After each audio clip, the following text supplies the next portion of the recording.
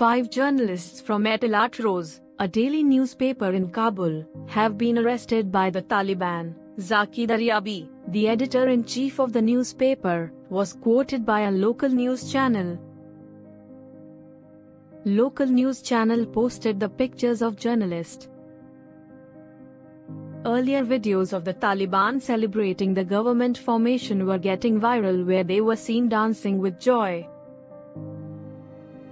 The Taliban formally declared a caretaker government on Tuesday, appointing acting cabinet ministers who were largely loyalists from the group's first years of rule in the 1990s. The list of ministers was the clearest indication yet that the group sees power as something to be shared exclusively among the victors, with no women in power. News Desk